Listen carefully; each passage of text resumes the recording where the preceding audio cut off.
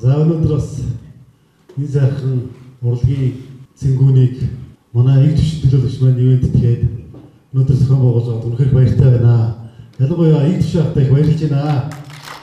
Та бүхний нэрээр сумын сумын хайртныг баярлалаа гэж хэлье. За та бүхэнд одоо өнөөдөр урлагийн сайхан урлагаараа сайхан хоорондоо өрсөлдөгч байна. Энэ бол үнэхээр сайхан бахархал. Тийм учраас өнөөдрийн сайхан урлагийн үйл ажиллагаа амжилт хүсье. Та бүхэн маань урт тасалж удаан жаргалж үеийн үедээ үр төр хөвгтдээ эрдэм номоо сургаж яваарай гэж хүсье. Та бүхэндээ сайн сайхан хүсье. Баярлалаа.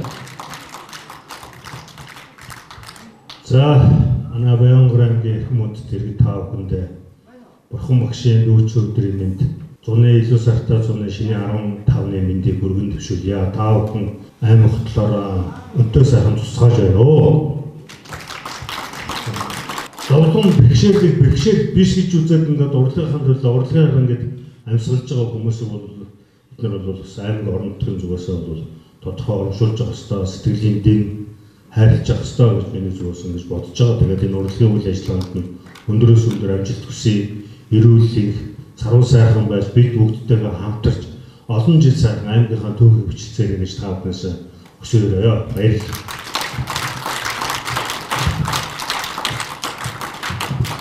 За сайн байцгаана уу? За манай өнгөтэй өнгөлөг сайхан харагдаж байна.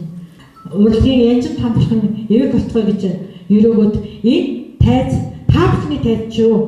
Та нартай амжилт хүсье.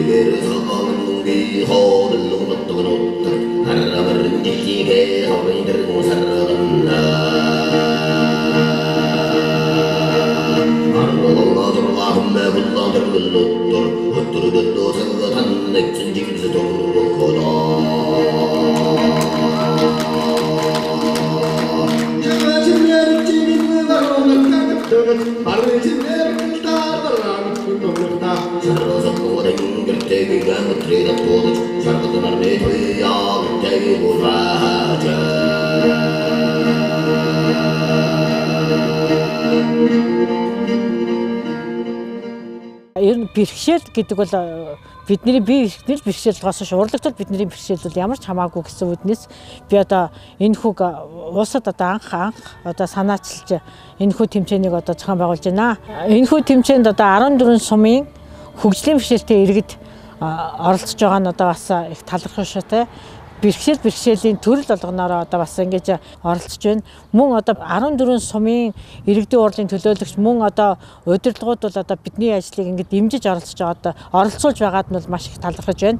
Ер нь ихэнх сумууд бол одоо ирж байгаа улсуудынхаа буудлыг, унааныхын зардлыг, мөн хоолныхын зардлыг ингэж даасан байна. Манай энэ хүү арга хэмжээ бол 3 өдөр одоо үргэлжлэн маргааш 15-нд гала тоглолттой ингээд Баян хонгор аймгийн нийт хөдөлмөрчдөд уриалахад манай энэ хүү одоо гала тоглолтыг хүндэтгэн ирж үзээрэй гэж э, уриалж байна. Мөн энэ хүү одоо арга хэмжээг э, зохион байгуулж байгаа, ивент тэтгэж байгаа инх төвшин дарга Баянгор аймгийн иргэдийн төлөөлөгчийн хурлын дарга инх бат дарга натаа одоо маш их баярлж байна. Цааш цаашдынх нь ажилд нь өндөр амжилтыг хүсэн өрөөё.